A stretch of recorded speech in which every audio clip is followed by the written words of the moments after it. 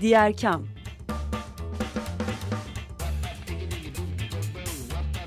Sosyal fayda dünyasından fikirler, tartışmalar, haberler.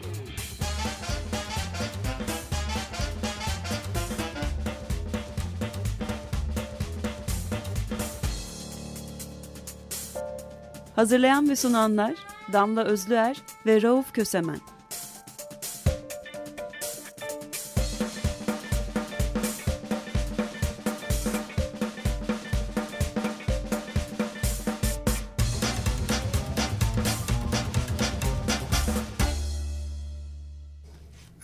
Diğer kamdan herkese merhaba. Açık Radyo 94.9'dayız. Ben Rauf Kösemen. Ortağım Damla Özlüer bugün e, bir mevsim e, hastalığı, grip geçirdiği için yanımızda değil. Ama e, bir konuğumuz var. Konuğumuz Alp Köksal. E, kan Akademi Türkçe'nin e, direktörü. Kan Akademi Türkiye değil, Kan Akademi Türkçe. Özellikle orayı düzeltiyorum. Hoş geldiniz. Merhaba, hoş bulduk. Ben e, bir samimiyete dayanarak Alp e, demeye devam edeceğim. Tabii Dinleyicilerimiz e, bizi hazır görür. Canlı yayındayız.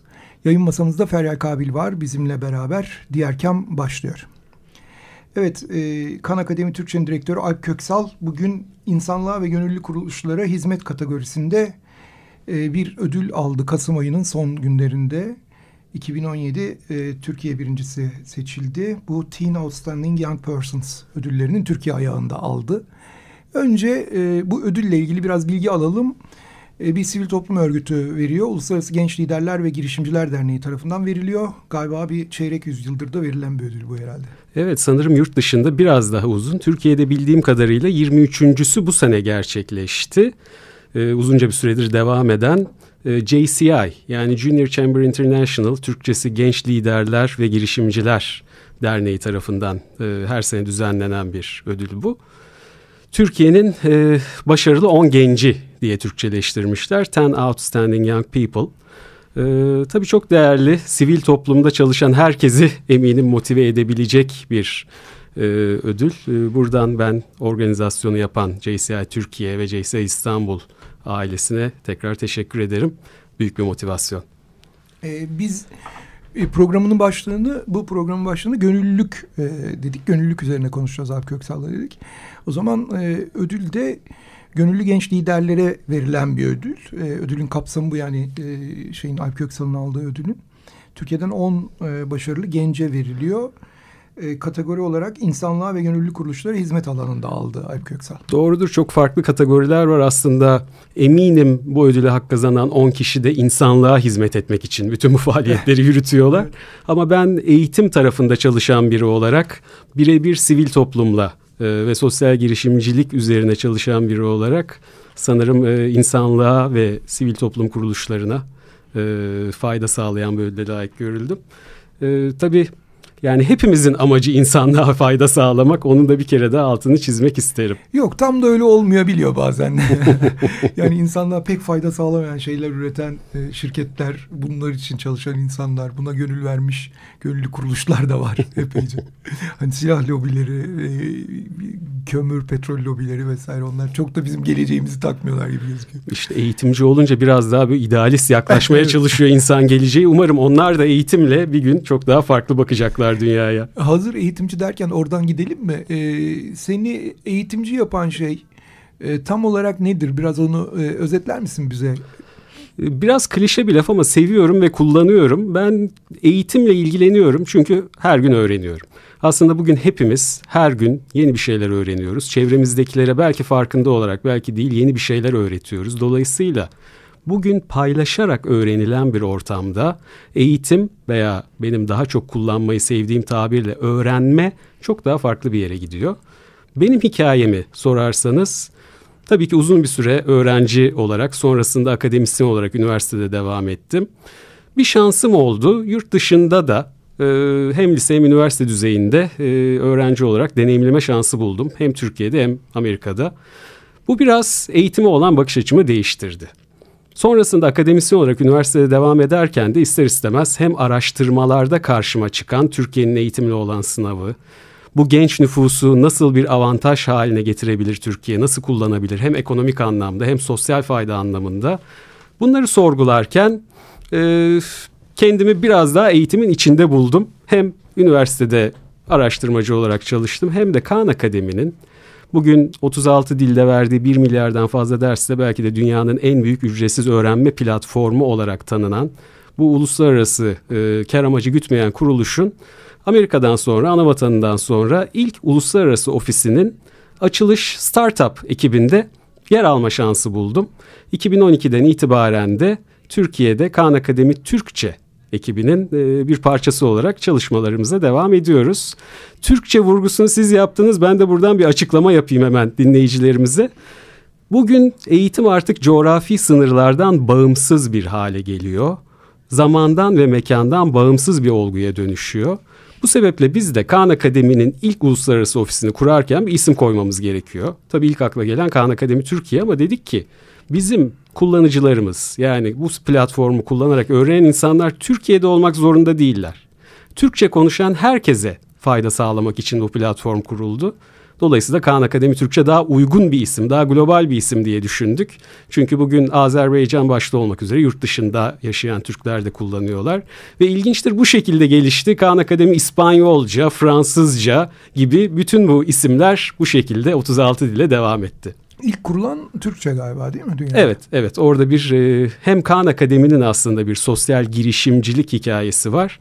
Hem de e, bir nebze de olsa Kaan Akademi Türkçe'nin de bir sosyal girişimcilik hikayesi olduğunu belki söyleyebilirim. Çünkü ana vatanından sonra ilk defa farklı bir yerde, farklı bir dilde bu işi yapmayı denedik. Ve bugün e, milyonlarca ders veren bir platform haline döndü Türkiye hem de uluslararası her dile çevrilen bir platforma dönüştü Kaan Akademi. Mutluyuz ilki böyle bir girişimde bulunmuşuz.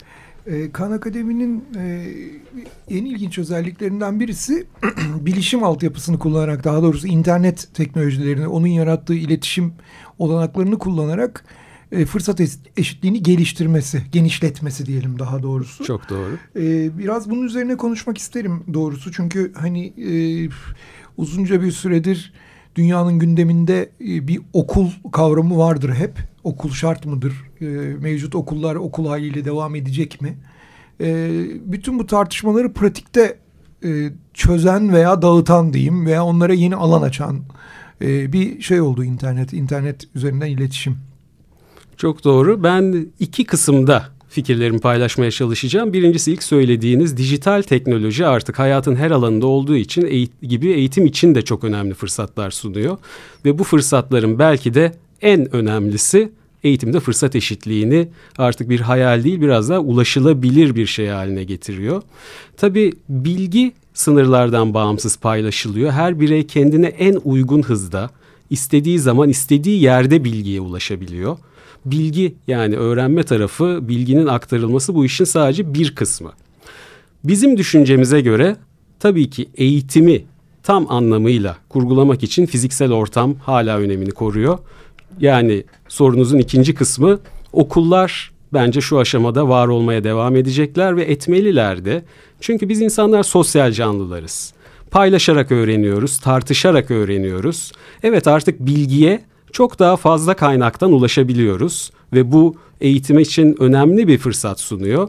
Fakat tam anlamıyla bir eğitim hala paylaşımlı bir ortamda, insanların bir araya geldiği bir ortamda olmalı. Ha şu olabilir. Dijital teknolojiler insanların bir araya geldiği ortamları da değiştiriyor. Farklı bir ekosistemde, farklı bir e, yaklaşımla belki eğitimi kurgulayabilir okullar. Yani ben okulların dönüşmekte olduğunu, eğitimde dijital dönüşümün hedefinde öğretmenler, okullar olduğunu, hedefinde deyince yanlış anlaşılmasın aslında öğretmenlerimizin de işini kolaylaştıran bir dönüşümden bahsediyorum. Ama bu sayede okulların da dönüşerek var olmaya devam edeceğini düşünüyorum. Biliyorum bazı MOOC'lar veya e, açık kaynaklar okulların yerine geçerek bir eğitim kurgusu yapmaya çalışıyorlar. Evet fırsat eşitliği adına e, önemli girişimler bunlar. Çünkü o bilgiye, o öğrenme şansına erişemeyen insanlara bir fırsat sunuyorlar. Ama yine de dünya genelinde ben sosyal öneminden dolayı okulların var olmaya devam edeceğini düşünüyorum. E, galiba biraz mesele şeyde e, biraz e, okulların ölçme ve değerlendirme e, üzerine kurulmuş olması. Daha doğrusu burada e, elektronik e, e, okuldan veya işte internet ortamındaki okuldan bu iletişim platformlarında ortaya çıkan öğrenme biçimlerinden farkları bunu e, sertifika ede, sertifike edebilmeleri. Yani bir diploma veriyor olmaları, bir ölçme değerlendirme e, kriterine uygun e, bir takım şeyler, araçlar yaratabiliyor olmaları. İşte bunlar sınav sistemleri, not sistemleri, e, ortalamalar, e, mesleki yeterlilik belgeleri falan gibi şeylere tercüme edilebiliyor. E, biraz bunların varlığı e, okulda bu me meselelere biraz mesafeli duran herhangi birisini okullara da mesafeli durmaya itiyor. yani sanki e, diplomayı vermediği andan itibaren e, bütün öğrenme şeyi değişecekmiş gibi, ekosistemi değişecekmiş gibi. Tabii gözden kaçırdığımız bir nokta var. Dünya artık o kadar hızlanıyor ki diplomaların raf ömrü belki beş sene, belki gelecekte üç sene, belki çok daha kısa olacak. Çünkü artık benim dünya görüşüm beceri odaklı bir eğitim üzerine kurulu. Maalesef çoğumuz e, üniversiteyi okuyoruz, bir diploma alıyoruz, o diplomayı duvara asıyoruz ve sanki öğrenme o dört duvarla 12 seneyle 16 seneyle kaç sene okula gittiyseniz o dönemde sınırlı bir olgu olarak hayatımızda kalıyor. Halbuki hızlanan bir dünyada her gün öğrenmeliyiz hayat boyu öğrenmeliyiz ve ancak bu şekilde bu değişime adapte olabiliriz. Dolayısıyla evet diplomaları okullar veriyor ve vermeye devam edecek. Hoş bu işi yapan online kurumlar da var. Yani e, internet üzerinden bir ders aldığınızda sertifikasyon veren hatta diploma veren kurumlar ortaya çıkmaya başladı. Sonuçta bütün diplomaların e, kendine göre bir değeri var ama ben artık diploma sisteminin de e, çökmeye başladığını düşünüyorum. Çünkü bugünün dünyasında 10 sene önce 20 sene önce alınmış hiçbir diplomanın çok fazla anlamı olmadığına inanıyorum. Ben e, 25 yıldan fazla bir zamandır aynı işi yapıyorum. E, hatta hani 30'da 30-35'te denilebilir işin e, benzer katmanlarını e, ayrı işler olarak saymazsak. E, genel olarak işte tasarım endüstrisi, tasarım alanında çalışıyorum. Daha önce endüstride ondan sonra iletişim alanında falan. Lakin hiç e, bugüne kadar son 1-2 yıl öncesine kadar hiç başka bir iş yaparak e, hayatımı kazanabileceğimi veya işte ömrüm boyunca bu işten başka bir iş yapıp yapamayacağımı düşünmedim. Hiç sorgulamadım. Hep bunun bir üst katmanına, bir geliştirilmiş versiyonuna atlamaya çalıştım tasarım alanında. E, yakın zamanda e, bu mesele üzerine biraz e, çalışmaya başladıktan sonra öğrenme üzerine e, çalışmaya başladıktan sonra fark ettim ki böyle insanlar var. Yani hayatının e, işte 50 yılını tek bir iş yapmadan geçiren, 10 ayrı iş yapmış, birini bırakıp öbürüne başlamış. E bunların da büyük çoğunluğunda e, en azından toplumsal kriterlere göre başarı da üretmiş. Hani e, bir maymun iştahlılıktan çok tatminle öbürüne geçmiş gibi görünen insanlar da var e, hakikaten bu diploma meselesi bize galiba ömrümüz boyunca aynı şeyleri yapmayı da vaaz eden bir şey. O yüzden de değişmesi gerekiyor yani bunun. Doğru işin öyle bir tarafı da var ama işte jenerasyon farkı diyorlar ya belki burada biraz onu konuşmak lazım. Artık gençlerin tek bir işe hem e, meslek olarak hem de iş yeri olarak söylüyorum bağımlılığı yapılan araştırmalara göre bağlılığı yanlış söyledim e, o kadar azaldı ki artık neredeyse bir buçuk senede bir e, iş değiştiren bir kuşakla karşı karşıyayız ve alttan gelenler için belki bu değişim daha da hızlı bir hale gelecek ama biz eğitimi beceri odaklı olarak ele alırsak yani bilgi odaklılığın bugün çok fazla ne yazık ki değeri kalmıyor. Çünkü her gün yeni bir bilgi var. Eskiden bilgiye ulaşmanın yolu bir bilene sormakken şimdi ne yapıyoruz? Genelde işte internette arama çubuğuna yazıyoruz, bilgiye ulaşıyoruz. Doğru olduğunu çoğu zaman varsayıyoruz. Tabii ki araştırma yapmak lazım. Ama bilginin bu kadar hızlı ve özgürce paylaşıldığı bir ortamda artık e, çok daha farklı bir yere doğru gidiyor dünya ve gençler de belki bu sebeple becerilere odaklanmalılar. 21. yüzyıl becerilerine odaklanmalılar diye söylüyorum hep. E, girişimcilik bunlardan bir tanesi. Liderlik, inovasyon, belki aralarında en değerlisi hayat boyu öğrenme. Çünkü gerçekten hayat boyu öğrenme bir insanın kariyerinin de kapılarını açacak. Hem çalıştığı sektörde kendini başarılı kılacak hem söylediğiniz gibi farklı alanlara geçebilmesine e, olanak sağlayacak bir kavram. Neticede hızlanan ve değişen bir dünyada ben çok da farklı fazla bir şansımız yok. Hayat boyu öğrenmek zorundayız diye düşünüyorum. E, bu e, şeyle ilgili e, ödülle ilgili konuşurken e, birkaç kavram kullanmıştık. E, şeyden programdan önce de program sırasında da işte sivil toplum, sosyal girişimcilik, e, dijit eğitimde dijital dönüşüm falan gibi kavramlar kullanmıştık. Buraya biraz e, girmek isterim aslında. Bu dijital dönüşümün girişimcilik meselesine etkisi nedir? Nasıl ortaya çıkartıyor? Sanki çok koşutmuş gibi çünkü yani bunların ikisi de birbiriyle yan yana yürüyorlar. Daha önce duymadığımız sözlerdi sosyal girişim sözü. E, iletişim ortamı dijitalize olduktan sonra daha sık duymaya başladık. Evet sanki her sektör zaten dijitalize oldu. Ben eğitimin biraz daha geriden geldiğini düşünüyorum bu konuda. Çünkü birçok şey dijitalleşirken örneğin bankalar veriyi, büyük veriyi e, kullanarak müşterilerini bizi bizden iyi tanırken biz eğitimciler hala veriyi sınıflarımızda e, yeteri kadar aktif kullanamıyoruz. Düşünsenize her öğrencinin hangi konuyu ne zaman nerede ne kadar çalıştığı bildiği öğrendiği nerede eksiği olduğu bunların hepsi aslında dijital platformlarda kayıt altında. Ee, dijital her yerde ve bu tabii ki girişimciliği de dönüştürmeye başladı. Yeni iş modellerinin büyük bir kısmı zaten ya dijital doğuyor ya da dijital ayağı çok güçlü bir şekilde kurgulanıyor. Sosyal girişimcilik için ben dijital bir şart mıdır emin değilim ama bugünün dünyasında dijitalsiz de çok fazla bir şey kalmadı gibi. Bir plak sever olarak hala analoğun öneminin de e, büyük olduğuna inanıyorum. Bunu da söylemek isterim burada. Ama şaka bir yana sosyal girişimcilik e, gençlerle de çok popülerleşen bir kavram. Sanırım yayından önce de konuşurken geçmişti. Bir kere de buradan söylemek istiyorum. Biz özellikle üniversiteli gençler hatta artık liseli gençler girişimcilik konusunu konuşurken genellikle girişimlerin başarısını kazandığı para ile ölçüyoruz. Yani bu şekilde e, kurgulanıyor. Başarı nedir? Kazanç nedir? E, çoğu girişimci için evet par, paradır, kardır. Halbuki sosyal girişimlerin, sosyal girişimcilerin bu dünyaya kattığı şeyi belki de parayla ölçmek mümkün değil. Çünkü sosyal girişim ne demek? En basit tabiriyle e, bir taraftan tabii ki bir gelir modeli olacak yaşayabilecek. Diğer taraftan da amacı kendi cebine değil topluma fayda sağlamayı amaçlayan, e, toplumda farkındalık yaratmayı amaçlayan ve dönüşüm, değişim yaratmayı amaçlayan bir sosyal yaraya parmak basan girişimcilik modelidir diye ben kabaca tanımlıyorum.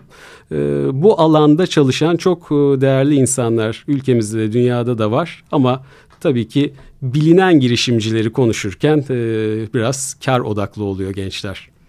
E, şimdi şöyle bir yanlış anlaşılma da olmasın tabii. Hani bu işin çok fazla dijital tarafını e, konuşuyoruz. O yüzden sanki e, dijitalde üretilen nesneler veya e, hizmetlerden ibaret bir şeyi konuşuyor gibi oluyoruz. Yani mobilya üreten birisi de sosyal girişimci olabilir. O mobilyayı internet üzerinden pazarlaması e, onun aslında e, kol emeğiyle veya bilek emeğiyle, bilek gücüyle bir şey üretmediği anlamına da gelmiyor. Yani bir yandan da böyle bir şey de var. Bu dijitalleşmenin kutsadığı alan e, eli üretime değmeden bir şeyler yapmak isteyen insanlar yaratıyor yani e, evet. önümüzde.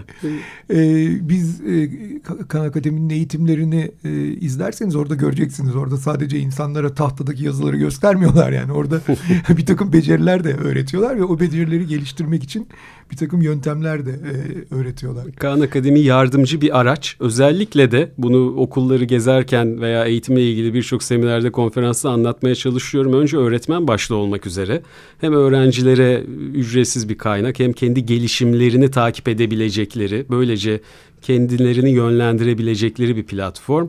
Ee, hem de bunun yanında biz e, şunu yapmaya çalışıyoruz. Bir sivil toplum kuruluşu olarak da bugün eğitim nereye gidiyor? Yeni nesil bir öğrenme ortamı nasıl olacak, nasıl şekillenecek? Bunu biraz hayal edebilip kurgulayabilirsek işte o zaman eğitimin geleceği içinde daha e, net bir rotaya sahip oluruz ve bu şekilde ilerleyebiliriz diye düşünüyorum. E, bu da dediğim gibi işin biraz daha sivil toplum tarafı yani hem içerik sağlayıcı hem de e, klasik bir STK olarak bir vizyon sağlayıcı olmaya gayret ediyoruz. İzninizle bir şey ekleyeceğim ben de. Tabii burada ödülden konuştuk. Ee, çok güzel, mutluluk verici bir şey. Ama her ne kadar bu benim şahsıma verilmiş e, bir ödül olarak gözüküyor olsa da bu emeğin, bu çabanın arkasında koca bir takım ve 500'den fazla gönüllü çalışıyor. Bu vesileyle ben şu anda ofiste yeni videolar üzerinde, yeni eğitim içerikleri üzerinde çalışmakta olan Kaan Akademi Türkçe ekibine de bir kere daha buradan teşekkür ediyorum. Ve tabii ki 500'den fazla gönüllünün katkısı olmasaydı bugün Kaan Akademi Türkiye'de var olamazdı. Bunun da altını çizmek istiyorum. Evet şimdi hazır e, buraya gel buraya kadar gelmişken bu gönüllülük meselesine de bir kez daha girelim. Konuşmanın başında geçirmiştik. Ee, aslında e, senin yaptığın iş bir tür gönüllü liderliği. Yani gönüllülerin e, kendilerini daha verimli e, kılabilecekleri ortamlar yaratıyorsun ve e, bir ön açıcılık sergiliyorsun. E, bu biraz şey bir soru olabilir. Spontan olduğu için hazırlıksız yakalayan bir soru olabilir seni ama Türkiye'de bu gönüllülük denilen şey ne alemde? yani buna cevap vermek bana düşer mi bilmiyorum. ee, tabii eğitim... Gönül, gönüllü bir radyonun içinde çalışıyoruz bu arada. Doğru. Gönüllü ekosisteminde bu konuları konuşmak bazen daha kolay bazen daha zor olabiliyor ama e, malum gönüllülük belki de bu dünyadaki en zor meslek. Çünkü herkes vaktini geçirdiği e, uğraş verdiği şeyin karşılığında bir şey almaya alışık ve ya bu şekilde bir beklenti içinde oluyor. Gönüllülük e, hem normal bir işte çalışıyormuş ciddiyetinde çalışıp hem de karşılığında bir beklentiniz olmaması gereken bir iş. Evet gönüllerin bir kısmı belki bu noktada e, takdir edilmek başta olmak üzere bir geri bildirim, bir beklenti içinde oluyorlar. Bu da çok normal ama ben sivil toplum Türkiye'de gelişiyor diye yuvarlak bir cevap vererek çok fazla o tarafa girmek istemiyorum. Tabii biz de e, özellikle eğitim tarafında şunu yapmaya çalıştık. Ben de Türkiye'deki eğitime katkı sağlamak istiyorum. Eğitimin e, gelişime açık olduğuna inanıyorum diyen yüzlerce, binlerce e, insanla bugüne kadar yolumuz kesişti Kaan Akademi çatısı altında. Ve bu insanlara en azından bir amaç, yapabilecekleri bir e, kullanabilecekleri bir araç vererek bilgilerini e, paylaşmaları, e, yabancı dil biliyorlarsa tercüme konusunda destek olmaları veya eğitimde fırsat eşitliğine katkı sağlamak istiyorlarsa tamamen ücretsiz ve kar amacı gütmeyen bir kaynak olarak Kaan Akademi çevrelerindeki okullara tanıtmaları gibi pek çok alanda gönüllülerden destek alıyoruz. Almaya da devam ediyoruz büyük bir ekiple. Aralarında öğrenciler, öğretmenler, akademisyenler, e, ev hanımları veya profesyonel hayattan bireyler kendi bilgi alanları doğrultusunda eminim gönüllülük yapabilecekleri yerler bulabiliyorlar. E, bizde de Kaan Akademi'de de sivil toplumun genelinde de. Ama önemli olan gönüllülük ciddi bir meslektir. Belki bunu kabul ederek gönüllü olmak lazım. Çünkü e, yani bütün STK'ların dünyada bütün STK'ların başına gelen bir şey. Bir gönüllü eğer bir gün var ikinci gün yoksa e, bu da o STK'ya çok fazla katkı sağlayamayabiliyor. Devamlılık, sürdürülebilirlik e, çok önemli. Evet, e, sizin programınızda ne tür alanlarda çalışıyor gönüllüler? Yani girdiklerinde ben bir şeyler yapmak istiyorum diyen dinleyicilerimiz hangi alanlara talip olabilir? Ben burada o zaman şeyi de söyleyeyim hemen. Kaan Akademi org.tr bizim adresimiz. Evet, ee, Bunun sonuna bir de slash e, gönüllü yazarsanız orada farklı birkaç alan karşınıza çıkmış oluyor. Biraz da zor bir ismimiz var. Özellikle böyle radyoda daha önce de başıma geldiği için e, benim gayri resmi adım artık Kaan Bey oldu zaten bir yere gittiğimde. Evet Kaan Akademi K-H-A-N diye evet. yazılıyor ve akademi ne yazık ki İngilizce C e, ve Y ile yazılıyor. İnternette Kaan Akademi diye arattığınızda karşınıza çıkacaktır. Çok fazla zahmete girmeye gerek evet, yok. Kur, kurucusunun ismiyle anılıyor. Evet. Hindistan kökenli birisi olduğu için Kaan ismini kullanıyor. Evet, doğru. Kaan çok yaygın bir soyad. Bazen aktör e, olan Salman Kaan, Amir Khan'la da karışabiliyor ama e, internete yazdığınızda Kaan Akademi karşınıza çıkacaktır. Gönüllülük alanlarımız arasında sanırım en çok sayı olarak en çok gönüllü bu yabancı bir kaynak, İngilizce bir kaynak. Biz Türkçeleştiriyoruz. Dolayısıyla o tarafta bize destek oluyorlar hem videoların Türkçeleştirilmesi hem web sitesi platformun arayüzünün Türkçeleştirilmesi ve burada yani bu işi bilenler e, rakamı anlayacaklardır. 15 milyon kelimelik bir havuzdan bahsediyoruz. Yani 3-5 kitap değil binlerce belki e, 20 bin 30 bin kitap tercümesi gibi bir kavramdan öyle bir kütüphaneden bahsediyoruz. E, bu işe senelerdir gönül veren değerli gönüllerimizde oldu. Veya ben çorbada tuzum olsun işte birkaç gün destek olabilirim diyenler de oldu. Veya devlet tiyatro sanatçıları, ses sanatçıları da derslerin sesleri olarak kendi alanlarında bize gönüllü olarak katkı sağladılar. Genelde bu soru sorulduğunda şunu söylüyorum gönüllü olmak istedikten sonra bunu kafaya koyduktan sonra mutlaka katkı sağlayabilirsiniz. O zaman bekliyoruz e, Kan Akademi sayfasına dinleyicilerimizi. Programın sonuna geldik. Diğer kamdaydınız. Açık Radyo 94.9'da konuğumuz Alp Köksal'dı. Teşekkür ederiz. Ben çok teşekkür ederim. Çok keyifli bir sohbet oldu her zamanki gibi. Biz teşekkür ederiz tekrar. Ee, yayın masamızda Ferya Kabil vardı. Ben Rauf Kösemen. Hoşçakalın.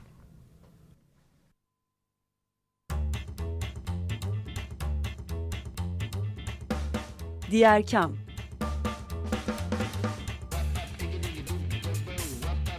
Sosyal fayda dünyasından fikirler, tartışmalar, haberler.